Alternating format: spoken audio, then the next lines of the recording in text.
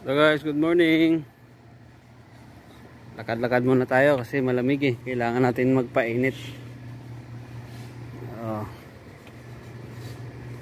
Guys.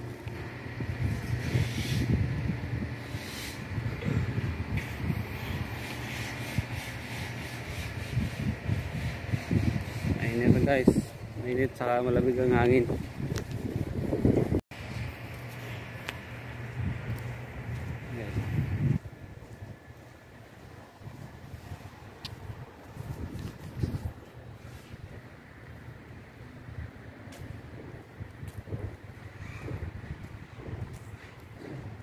Para naman ano. Pagbalik mainit ng katawan pwede nang maligo. Guys. Okay.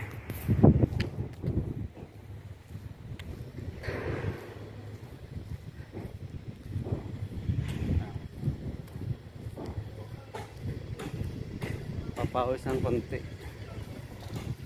Guys okay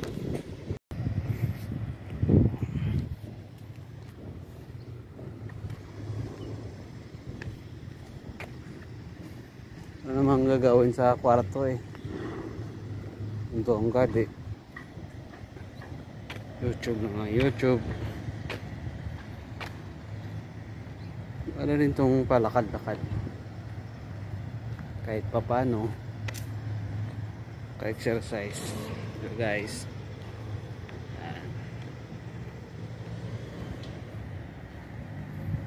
Okay guys salamat sa panood. Estrangherong Biyahero ang iyong lingkod. Maraming salamat. Magandang araw sa ating lahat